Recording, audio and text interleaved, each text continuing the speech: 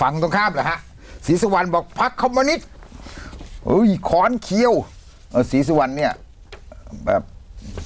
เกลียดค้อนเคียวมากแค่ไหนนะว่าตัวเองมาจากต่างจังหวัดเป็นลูกคนจนชนบทนะโคตรเกลียดค้อนเคียวเลยโอ้โหก็อาจจะเป็นไปได้หมอควรับรงค์ยังไม่ว่าเนาะเออ หมอวรงค์เนี่ยโอ้ย RT เนี่ยมันน่าจะเป็น Revolution Thailand อ๋อ หวังจะให้เกิด Republic of Thailand อันแน่ไอ้ช่วยตีความตัว R นี่ได้เยอะจริงเนาะฮะเขาบอกว่าตอนแรกเนี่ยมันแบบคือเขาบอกมัน R มันแปลได้สามอย่างอืมเยาวชนไปปลุกแอบพยายามจะปลุกกระแสรีสตาร์ทไทยแลนด์คุแต่คุณหมอถ้าดูจริง ๆ แล้ว มันน่าจะเป็น Revolution Thailand แหมแล้วก็จะไปเกิด Republic of Thailand คุณหมอวรงค์ก็แปล Royalist Thailand ก็ได้เอาเหรอเอออ่ามันแปลได้ตั้งหลายตัวคุณหมอวรงค์ไปทะลึ่งอ๋แปอลจะเข้าใส่ร้ายผู้ชุมนุมทำไมเออครับผมเขาอุตส่าห์ขำตรงทำนี้ให้กว้างๆแล้วคุณหมอวรงค์ผมขำตรงนี้นะ ผมขำพวกแบบ ไอ้พวกที่มาดิ้นพล่านเกลียดแบบ อุ้ยอาทีเป็นว่าพรรคคอมมิวนิสต์เนี่ย ไอ้พวกนี้นิยมจีนทั้งนั้นเลย ใช่ จะตามก้นจีนโอ้ยอะแต่เผเขาด็จการพรรคเดียวเราแบบเขาไม่ได้นิยมความเป็นคอมมิวนิสต์ของจีนเขานิยมความเป็นเผด็จการของจีน เขานิยมความเป็นเผด็จการแล้วผมจะบอกนะเฮ้ยถ้าผมเถียงว่าผมแต่ผมบอกว่า สิ่งที่มันทำให้จีนล้าหลังคือความเป็นเผด็จการของจีนแต่สิ่งที่ทำให้มันจีนมันก้าวหน้า คือด้านที่มันเป็นคอมมิวนิสต์ของจีน ฮะ แต่ว่าเราต้องเข้าใจนะว่าไอ้ด้านที่เป็นคอมมิวนิสต์เนี่ยเอ่อความเป็นคอมมิวนิสต์เนี่ยพอมันไปแบบแบบตามนั้นจริงๆเนี่ยมันเป็นปัญหา แต่หมายถึงว่ามันต้องเป็นเอาเอาเอาเอาอุดมคติอันนั้นเอามาใช้กับประชาธิปไตยได้ฮะอย่างเช่นเรื่องเศรษฐกิจของเขา คือเรื่องชนชั้นคนเท่ากันเนี่ยเออมันเป็นอุดมการณ์อันั้นอะอ่าแต่ว่าปัญหาของพรรคคอมมิวนิสต์คือว่ามันมันนำไปสู่การเป็นเผด็จการครับอ่าเผด็จการพรรคเดียว อันนั้นเป็นปัญหาแล้วมันก็กลืนกินตัวเอง มันถึงได้พังอย่างยุคสตาลินมันถึงได้พังอย่างยุคเหมาครับนะแล้วก็มาที่หจีนอ่า จีนจีนยุคเหมาแล้วก็หาทางออกไม่ได้ไงอ่าไม่รู้ทำไปทางไหนก็คือตั้งสิบผิงก็เลยต้องใช้แบบเอาทุนนิยมเข้าทุนมานิยม เป็นทุนนิยมโดยโดยโดยโดยรัฐกำกับเออครับทุนนิยมกำกับโดยรัฐแล้วก็เป็นทุนนิยมแบบพรรคเดียวอยู่อย่างเงี้ยนะแต่จริงๆก็คือว่าในในในเชิงความคิดแบบคอมมิวนิสต์เนี่ยมันก็ต้องเข้าใจว่าไอ้ความคิดเรื่องความเท่าเทียมอะไรมันเป็นสิ่งที่ แต่วิธีการนำไปสู่อะวิธีการที่นำไปสู่โดยการเป็นเผด็จการมันมันเป็นปัญหาใช่ไหมแล้วก็ มันก็ก่อให้เกิดการที่แบบฆ่าฟันกันเยอะในครับในในช่วงที่มีอำนาจแล้วอะอย่างเช่นเขมรแดง อย่างเช่น อย่างเช่นโซเวียตอ่าอันนี้คือจริง ๆ แล้วแม้แต่พวกประชาธิปไตยในโลกนี่ก็ไปแอนตี้คอมมิวนิสต์กันเกินเหตุสำหรับผมนะอืมคือคือคือกลายเป็นแอนตี้กระบวนขบวนการของการสร้างคอมมิวนิสต์กลายเป็นแอนตี้ความคิดไปด้วย ซึ่งไม่ใช่อืมความจริงๆคอมมิวนิสต์ในโลกยังเป็นอะฐานฮะพวกคอมมิวนิสต์ในโลกก็มาจากพวกประชาธิปไตยทั้งนั้นแหละใช่ พวกเรียกร้องเสรีภาพคือต้องการความเสมอทั้งนั้นภาคเออแต่ว่าในยุคอดีตเนี่ยหมายถึงว่าไอ้งานที่มันเป็นเอ่อทุนนิยมในอดีตมันค่อนข้างจะโหดร้าย แล้วก็ในยุคมาร์กเนี่ยต้องแบบใครเขียนว่าในยุคมาร์กเนี่ยชาวนากรรมกรไม่มีสิทธิ์เลือกไม่มีสิทธิ์เลือกตั้งเลยนะมันมีการเลือกตั้งอยู่ แต่มันไม่มีสิทธิ์เลือกตั้ง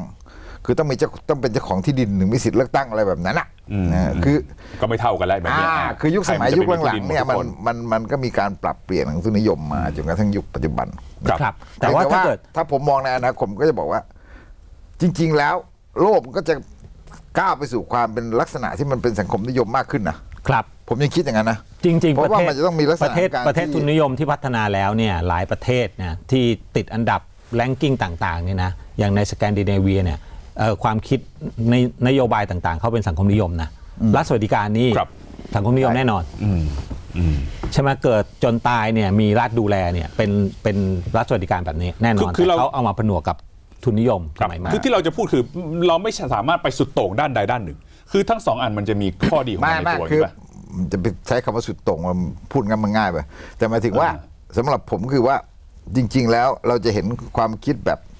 แบบ เอ่อเชิงสังคมนิยมเนี่ยมันเริ่มกลับมาอยู่นะในช่วงของในช่วงที่มันเกิดวิกฤตในช่วงเนี้ยครับช่วงวิกฤตเศรษฐกิจโลกครับเนี่ยครับเราจะเห็นอย่างอะไรอะเดี๋ยวนั้นเดโมแครตอะใครอะไบเดนเหรอฮะเอ่อไม่ใช่ที่ที่ผู้ท้าชิงตอนแรกอะอ่าฮะอ่าแซนเดอร์ เออครับเบอร์นีแซนเดอร์เออเออเออแซนเดอร์อะ ก็ได้รับความนิยมแซนเดอร์นี่คือนักสังคมนิยม ครับ แต่ว่าแน่นอนบางคนก็มองว่าคิดแบบแซนเดอร์มันไปมันไปไกลเกินไป แต่มันเริ่มมีความสำหรับอเมริกานะการไกลยอมรับเกินไปสำหรับเนี่ยอเมริกาความคิดแบบนี้ว่าคุณต้องเอามาใช้บ้าง ถ้าคุณไม่เอามาใช้บ้างคุณควบคุมไอการเคลื่อนไหวของทุนแบบที่คุณเอาไม่อยู่อะอืมเนี่ยไบเดนเองก็มีความคิดเรื่องของการที่จะเอาเออ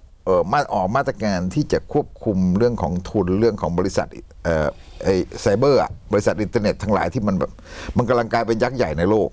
ซึ่งมันมันจะเป็นทุนที่ที่คุณไม่สามารถที่จะควบคุมควบคุมมันได้อะเพอเพอๆจะใหญ่จะใหญ่กว่าคือเมริกาคือความควบคุมไม่ได้ไม่ได้หมายความว่าเราบอกต้องการให้รัฐควบคุม แต่ประชาชนก็ควบคุมไม่ได้ครับใช่ไหมครับเข้าใจ แล้วแล้วไอ้การที่แบบตลาดทุนหรืออะไรต่างๆของอเมริกาที่มันปั่นกันไปจนกระทั่งแบบ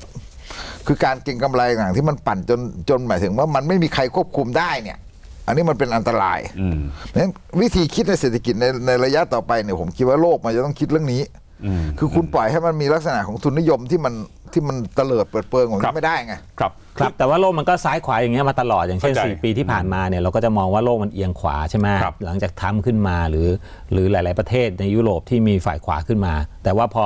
พอเอ่อ ไบเดนมาเนี่ยมันก็จะเริ่มรู้สึกว่าเออกลับมาเอียงไปทางด้านเดิมแต่จริงครับๆในหลายประเทศในยุโรปเนี่ยก็มีพื้นฐานในเรื่องของรัฐสวัสดิการอะไรอย่างเงี้ยซึ่งเป็นแนวคิดแบบสังคมนิยมอยู่แล้ว มีมาตลอดแล้วจริงๆ ก็สร้างความมั่นคงให้กับประชาชนได้จำนวนหนึ่งเออครับพูดถึงจีนด้วย เวลาเราบอกว่าจีนเนี่ยถึงเราไม่ชอบมันยังไงก็ตามแต่ในแง่เรื่องเอ่อใช้อำนาจเผด็จการกับเอ่อ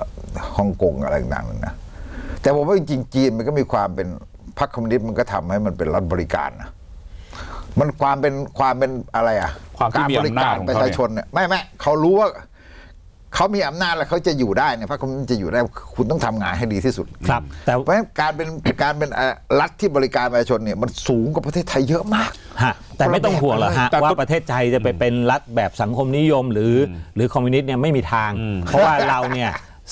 สมาทานกับแนวคิดเสรีทุนนิยมแบบเต็มที่แล้วเออทุนใหญ่เราผูกขาดวางระบบอะไรโครงสร้างเครือข่าย ตั้งแต่ยันบนลงล่างมาคแบรับบไม่มีทางหรอกฮะที่ประเทศไทยจะเป็นคอมมิวนิสเอต์อใช่เราเนี่ยในด้านหนึ่งมันก็เป็นทุนนิยมสุด ๆ เลยนะโคตรๆเลยนะมันถึงเหลื่อมล้ำสูงมาก เออเริ่มล้ำสูงใช่มาก แต่อีกด้านหนึ่งเราก็เป็นรัฐที่มันเป็นเจ้าขุนมูลนายมากอะไรอย่างเงี้ยใช่คือเราเนี่ยอยู่ในสภาพอย่างนี้ไงฮะคืออยู่ในสภาพคุณศสิที่แบบ เออ คือคือผมว่าสุดท้ายแล้วมันก็ต้องย้อนกลับไปที่จิตสำนึกของผู้นำเอาอันนี้อันนี้เรื่องจริงเลยนะคือคือสุดท้ายเนี่ยไม่ว่าคุณจะเป็นจิตสำนึกประชาชนด้วยไม่ว่าคุณจะฝั่งไหนนะ แต่ถ้าเกิดคุณคุณไม่ไม่มีวิสัยทัศน์หรือจิตสำนึกที่จะดูแลประชาชนเนี่ยคือ คือไม่ว่าจะคอมมิวนิสต์ไม่ว่าจะประชาธิปไม่ไตไม่ยเนี่ยนั่มันนเป็ก็นเลเรื่อยงตัวบุคคลไม่ใช่อ่ามัมันจะเป็นไม่ไม่ไม่เรื่องประชาชถึนงโอเคแต่ผมผมก็เป็นเรื่องประชาชนผมโอเค เรื่องคนเรื่องผู้นำส่วนตัวผมก็ยังมีความเห็นอย่างนี้นะหมายความว่าเรื่องระบบที่ดีมันจะได้ผู้นำที่ดีพี่ดึกใช่ไหมอันนี้เราก็เถียงทุกคนก็เถียงกันพูดพูดเรื่องนี้เข้าใจกันหมด แต่ผู้นำที่ดีแล้วถ้าสมมติว่าสังคมสงเคราะห์อย่างเดียวก็ไม่ไหวไงเออใช่ใช่ไงอ่าก็ใช่ไงคิดเพื่อเพื่อประชาชนเหมือนกันแต่คอยแจกคอยให้ทานอันนั้นก็ไม่ได้มันก็ไม่ได้เหมือนกันอ่าเพราะฉะนั้นเออแต่ว่าในแง่หนึ่งนะ ผมคิดว่า RT ที่ปลุกกระแสโดยเยาวชนปลดแอกแล้วก็หยิบเรื่องค้อนเกลียวขึ้นมาเนี่ย ถ้าคนไทยจะได้ลองศึกษาแบบมาร์กซิสอะไรดูบ้างก็ดีนะ มันเป็นวิทยาศาสตร์นะฮะ มันครับเป็นทฤษฎี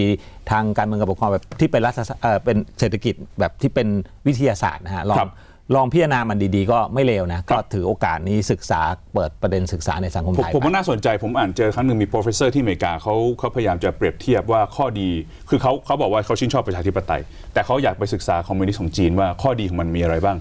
แล้วเขามองว่าต่อไปเทรนด์มันจะเหมือนที่พี่ตึกพูด ว่าเทรนด์ต่อไปของโลกเนี่ยที่ผ่านมามันไปประชาธิปไตย แล้วไม่ใช่ต่อจากเนี้ยมันมันจะแบบประชาธิปไตยเราไม่เป็นปัญหามีปัญหาประชาธิปไตยมันมีมันเราไม่มีปัญหาประชาธิปไตยน่ะถูกแล้ว แต่ว่าปัญหาของมันก็คือว่าไอ้ทุนนิยมแบบที่เราเรียกว่าอ่าบางคนเขาเรียกเศรษฐกิจเสรีนิยมใหม่ที่มันไปสุดเนี่แบยบเสรีหมดเอออะไรมันไปใช่หสุดเนี่ยบางทีมันมันไปจนกระทั่งแบบมันมันจะทำให้เกิดหายนะแล้วมันเกิดหายนะมาแล้วครับหลายครั้งหลายรอบใช่ไหมแล้ว แล้วไอ้การที่แบบหายนะทีมันก็ซ่อมตัวเองหายนะทีมันก็ซ่อมตัวเองแต่หายนะรอบนี้เนี่ยมีความรู้สึกว่ามันมันใหญ่โต มันกำลังจะใหญ่โตขึ้นเรื่อย